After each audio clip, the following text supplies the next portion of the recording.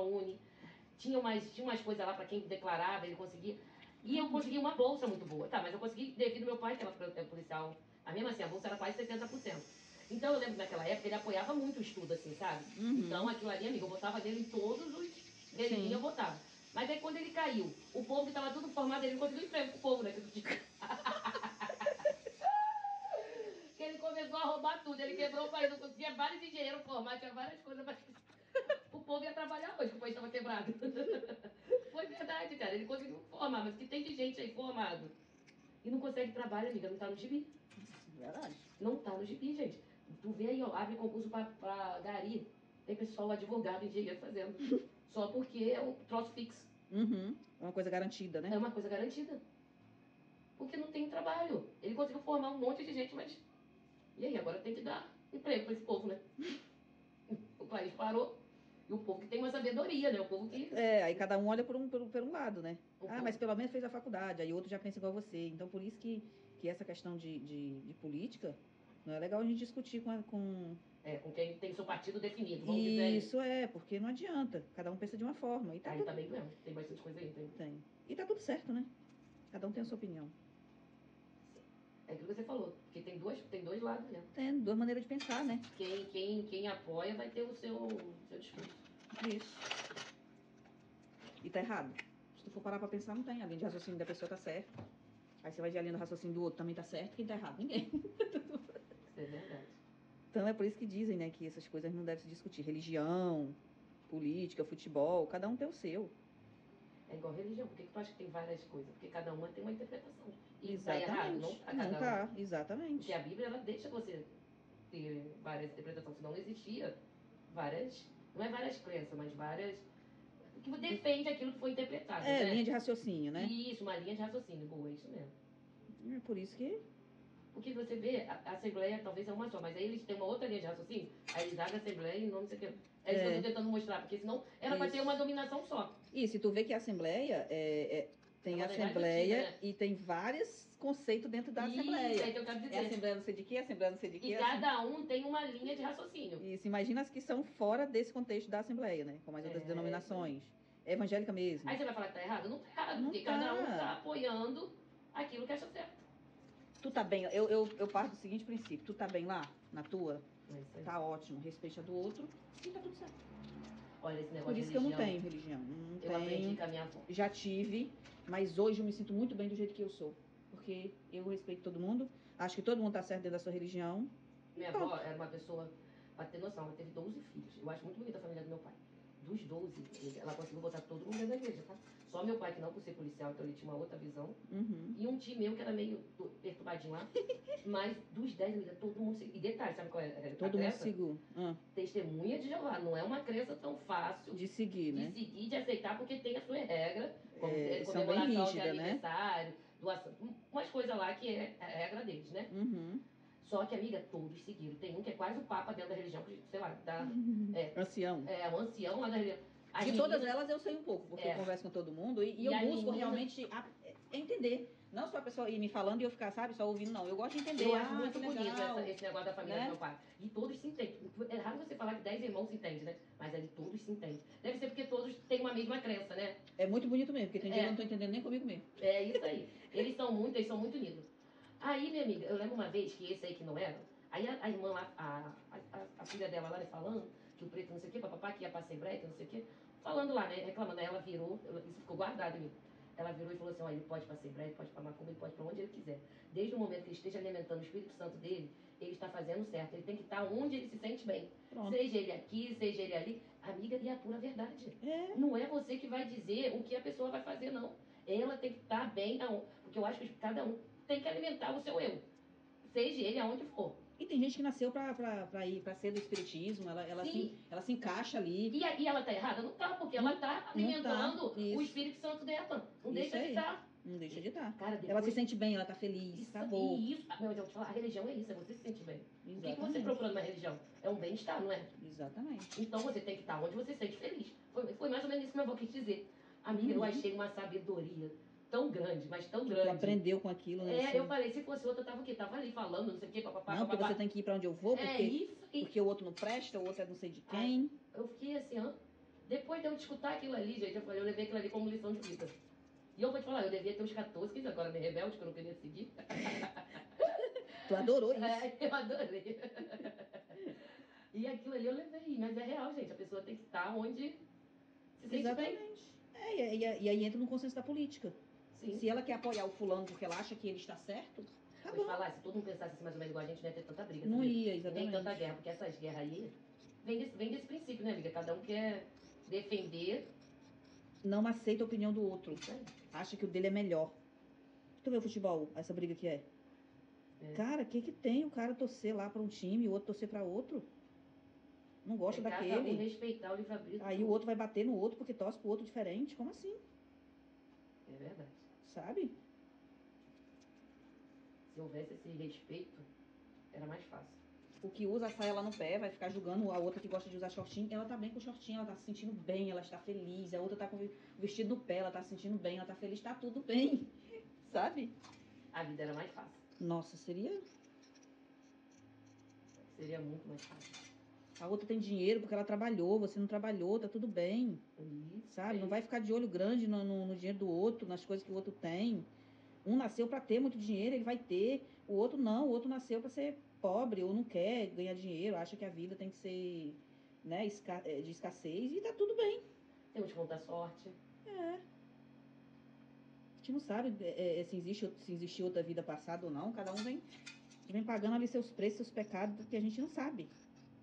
Sabe? Por eu não ter religião não seguir, não vou te dizer 100% que eu acredito em outras vidas, não sei, mas se existiu, às vezes tem uma pessoa que ela não consegue ser, ser rica, porque na outra vida lá não sei o que ela fez, sabe?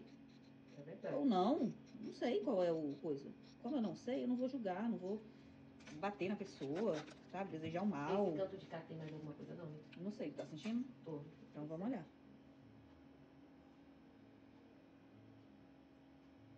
Aqui? É. Que tem cortar.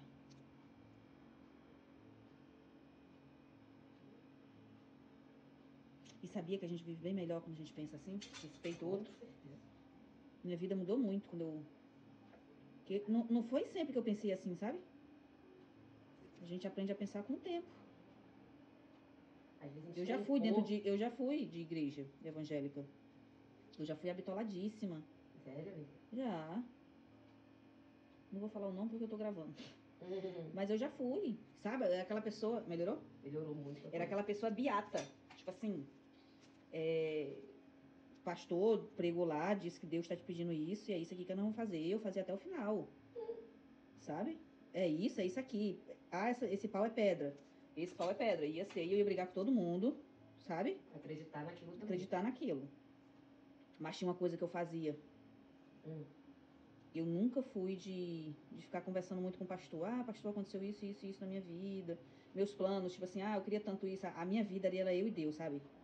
Tipo, eu tinha muitos questionamento. Só que tem certo questionamento da igreja que você não pode falar. Que você é perturbado, você tá questionando demais. Vem aqui que eu vou fazer uma oração de libertação e tu. você tá questionando demais, você tá querendo saber demais. Sabe? Então, é, é, eu, não, eu não tinha essa.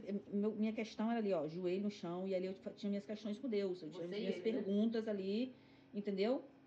E na hora certa ele foi respondendo tudo. E eu fui uma pessoa que eu sempre gostei muito de oportunidades. É boa ou ruim? Eu não sei se é. Né? Não sei se tu é boa ou se tu é ruim. Tu vê com oportunidade, eu vou aproveitar. Se for ruim, eu aprendi. Se for boa, eu peguei. Entende? Eu sempre fui assim. Gostei de arriscar em tudo na vida. Hoje eu fico mais cautelosa dele quebrar tanta cara. Hoje a gente analisa primeiro, mas eu não Mas, mas se analisava. você não arriscasse, você ia, você ia sair de manicure pra ser podóloga? Não. Exatamente. No meio dessa guerra que é onde eu estou hoje, eu tive que arriscar. E fui arriscando que eu cheguei aqui. Então eu pedia muitas coisas a Deus, eu tinha muito questionamento na minha cabeça, que Deus falava de, de, de ouro, de prata, e, e era falado de um Deus grandioso, e, eu nunca aceitei a miséria, sabe? E eu olhava assim, eu falei, mas poxa, eu sirvo um Deus que diz que é tão, que é tão isso, tão aquilo, mas cadê?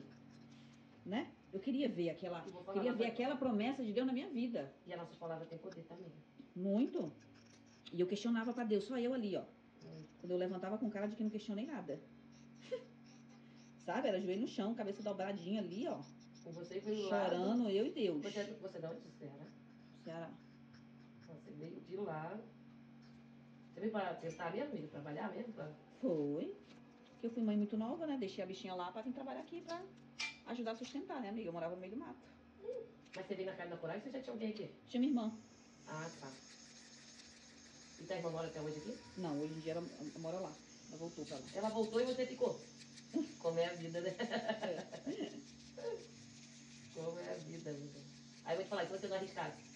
Aí foi nessas riscos da vida, oportunidade da vida, que um dia eu tive a oportunidade de conhecer o Deus totalmente diferente do que me ensinaram na igreja. E agora? Aí foi que veio a pior situação na tua vida. É aquela coisa, é tu. É as tuas crenças limitantes. Porque te provaram que A mais B, que Deus é aquilo ali. E como é que tu vai fazer com a tua crença? Sim. É igual dizer pra tu, isso aqui não é mais pedra, agora é madeira. E tu vai olhar, tu vai ver que é madeira. E tu vai dizer, nossa, mas eu acreditava tanto que era pedra, será? E aí vem os questionamentos.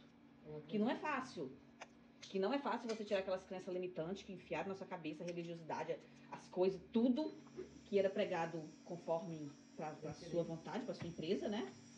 E te enfiou aquilo depois depois tu, tu descobre do nada que Deus Não é tudo aquilo.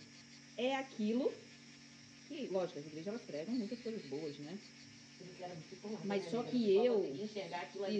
As igrejas, elas, elas, elas são muito boas, sabe? Quem tá nelas e tá feliz, nossa, tá bom, tá ótimo. Mas só que a minha cabeça tem sempre uma coisa a mais. Eu tô querendo saber sempre um porquê. E não tinha, e chegava num teto que você não tinha mais que saber um porquê. Tinha que se, acu- se acostumar com isso ali, Hum. sabe? E tipo, aquela coisa, cala a boca. Fica Não quieta. querendo se meter onde não é chamado. sabe? E aí eu descobri um Deus fora da igreja, que aquele Deus fez sentido pra mim. Aquele Deus que não julga, aquele Deus que tudo bem você errar, tudo bem você pecar, sabe? Porque dentro da igreja é aquela coisa, você não pode fazer isso. Você não deve, não pode, não, não isso, não Deus pode, é, é não pode usar isso. é. Não querendo- pode, não é. pode falar isso, porque Deus não se agrada. Você não pode se irar, você não pode chorar. Não nesse não não tão assim. Tô Mas é dando um o que você exemplo. falou, né? Você, quando tinha seus dilemas, E, cara, você e Deus, não intermediário. Isso, e, e, tipo, cara, tu chorou hoje, tu caiu, tá tudo bem. É, Deus tá em pé te esperando é tu levantar. e Deus, não intermediário. Aí eu, aí eu tem muitos conheci que acham que é Deus, né, amiga? isso. E aí eu conheci um outro lado que eu. Aí eu me libertei. Não acredito. Conhecerei a verdade e a verdade vos libertará. Hoje eu sou liberta. Hoje eu sou livre. Sabe? Eu acredito. Hoje eu sou livre. Eu acredito Eu literalmente. faço o que eu tenho que fazer, sabe? Pra me conquistar, pagar meus boletos, fazer minha vida, né? Minha família. Mas eu sou livre. Sem... Nath, você não pode fazer isso. Isso é pecado. Eu. Porque você falou. Porque você ama aquela pessoa que não condiz na palavra de Deus. Como assim? É ser humano. É. sabe? Então, assim, você não pode andar com aquela pessoa, você não pode é, conversar muito, estar muito perto daquela pessoa, porque aquela pessoa não anda conforme a lei do Senhor, tipo, que você vive, sabe? E hoje eu ando com quem eu quiser, eu falo com quem eu quiser, quem eu quiser que seja meu amigo, vai ser, não pelo que, ele, que a pessoa segue, e sim pela pessoa que a pessoa é. E isso É mudou muito gente, a né? minha vida. Mas hoje, se eu falo isso para as pessoas, né, que, que eram da mesma denominação que eu, talvez não vai entender, né? Talvez eu Não vai. seja simplesmente uma desviada. Como você E na pensava, minha né? cabeça, sabe o que eu sou? Liberta, muito feliz, com saúde e muito próspera, graças a Deus. É porque tem gente que ela é bitolada a não a Deus, a, aquele intermediário que fala que tá falando a palavra de Deus, né? Ainda tem isso. né? Porque eu, eu, eu- acredito no Deus que você pode tudo que tu quiser. E, o canal com ele é Sabe? direto, né? É a gente, eu e você. Isso. Poder falar direto. E eu não aceito miséria, eu não aceito passar anos dentro da igreja, viver só para ter a salvação da minha alma. Não, eu quero conhecer tudo que meu pai, Deus, deixou. E ele diz na Bíblia que ele é dono de todo o ouro e de toda a prata. Por que, que eu vou ficar comendo feijão com arroz e morando no barraco? Se o meu pai é rico. Não entra na minha cabeça isso. Mas as pessoas que entram na cabeça dela, eu não vou julgar. Se elas querem viver, achar que morar no barraco é assim, pra ganhar salvação, tá tudo bem. É a linha de raciocínio delas, entende? A minha não. A minha Deus prometeu, ele disse que é pai, que ele está cheio do ouro, cheio da prata, e que ele te porá por cabeça não cauda, que você sentará à mesa com os príncipes. Eu quero. O que, que tem mais aí, papai? Sabe? Vamos lá. Como é que faz? né? Não é de graça. Tem um preço a pagar. Qual que é o preço? Eu pago o preço. O que, que é? E quero continuar olhando para Deus. Não quero ter tudo isso, que o dinheiro seja o mais importante.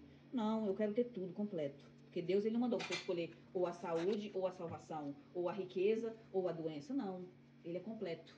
Então eu quero ser salvo, eu quero ser rica, eu quero ser saudável, eu quero ter uma família, eu quero tudo. E não está escrito em lugar nenhum que eu não possa ter tudo. Entende? Certíssimo. Certíssimo, certíssimo. E sabe onde é o segredo de tudo isso? Onde? Você ter empatia com as pessoas e ser grato por tudo que você tem e pelo que ainda você vai ter. Não precisa você ter hoje um carro dos teus sonhos para tu agradecer. Ser grato por isso. Hum, Comece a ser grato verdade. pelo que você quer hoje. Entende? Que Deus com certeza ele vai dar um jeito de se você luta, né? Se você trabalha, se você quer isso, Deus vai te dar. Te dá não, ele vai te ajudar a achar o caminho que te leva até aquilo ali. Que você mesmo pode conquistar. Exatamente. Tem pessoas que ficam sentadas esperando as coisas acontecerem. Não vai acontecer não, meu filho. Não ergue as suas duas mangas e vai à luta, não. É, e tá tudo bem, deixar ela esperar até morrer, entende? Eu, eu não espero. Deus prometeu tantas coisas pra mim, sabe o que, que Deus faz? Tem gente que Deus promete as coisas, sabe o que ela faz? Ela senta ela espera.